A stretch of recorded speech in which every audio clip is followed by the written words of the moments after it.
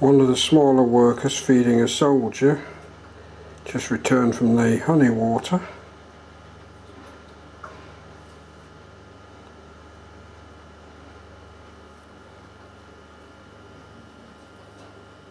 and settling down nicely now